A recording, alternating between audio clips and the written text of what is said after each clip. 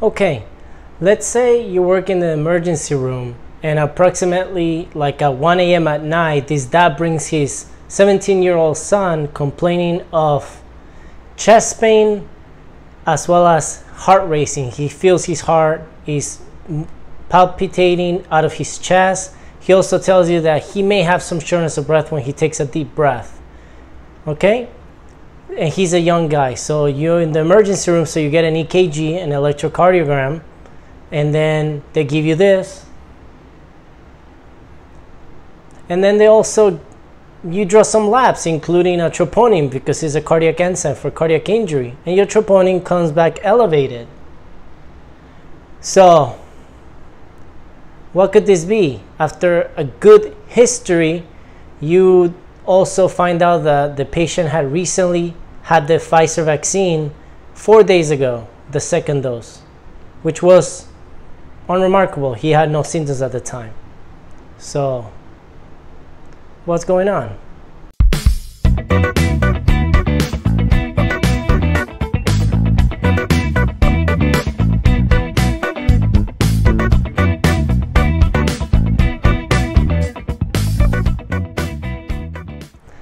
All right, welcome to the channel. If you're new, my name is Facundo Gonzalez, uh, emergency resident in New York.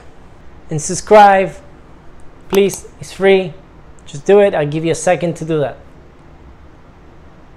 Okay, enough. Let's get to the video. This is actually a classic presentation of post-COVID vaccine pericarditis slash myocarditis. Okay? It's been all over the news recently now that they started vaccinating younger population. So as you can see on these many sources,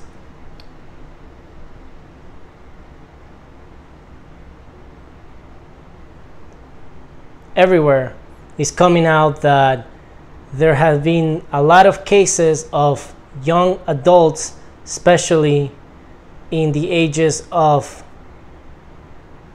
I would say less than 30 years old, but mostly 16 and older, having chest pain, shortness of breath, palpitations, a few days following the administration of the Pfizer vaccine or the Moderna vaccine. It's a specifics to the mRNA vaccines, okay?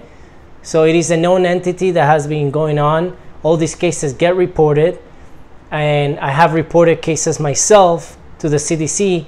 And just a disclaimer the case I presented was a combination of the different cases I have seen. So I changed the gender, the age, the symptoms, so there's no confidentiality problems. Okay? So let's see what this is. Well, pericarditis is inflammation of the sac that surrounds the heart. Is usually a thin tissue that has two layers, but that pericardium can get inflamed due to either autoimmune response or post-viral infection and you get this inflammation of the pericardium that hurts or you can get your actual myocardium which is the myo is muscle cardium. The cardiac muscle gets inflamed leading to discomfort as well okay? So this has been shown with the vaccine. So now let's go over some findings. The findings are this EKG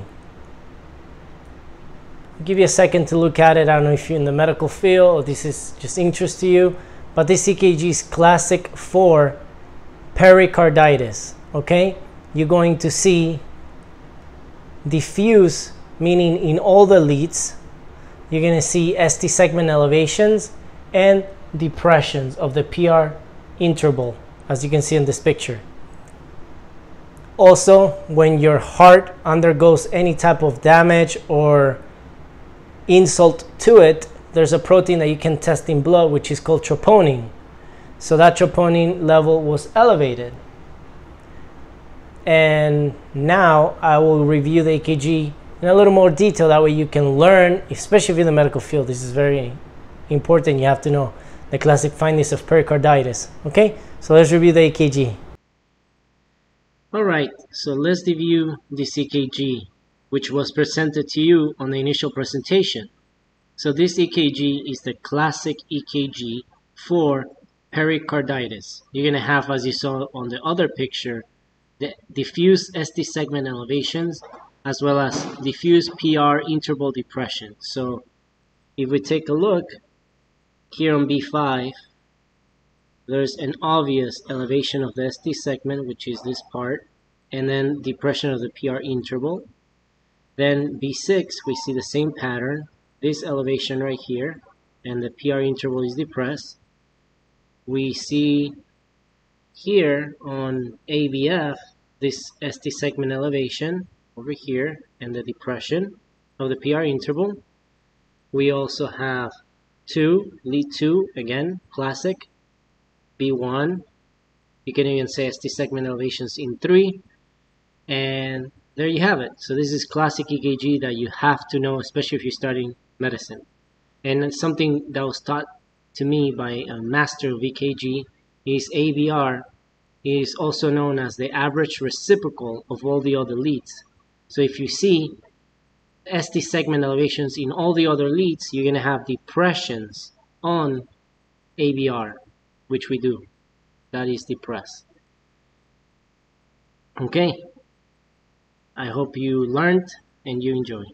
Now, the thing about this is that it does have a very good prognosis. Most patients, like greater than 90%, get better in a few days. Some may have to have frequent visits to the cardiology for the next few months. Some may be advised to not play sports or do any strenuous physical activity for one to two months. That way they don't strain their heart. So that's a perfect excuse for playing video games at home, I guess. So otherwise these kids do very well. There's no concerns. And at the end of the day, they all these societies and CDC are still recommending the vaccine because at the end of the day, the benefits outweigh the risk. So if you were to get COVID, you can have very severe symptoms and even death. Therefore, having this transient episode of pericarditis, myocarditis uh, is worth it. That's the the knowledge. That's what is taught. Okay.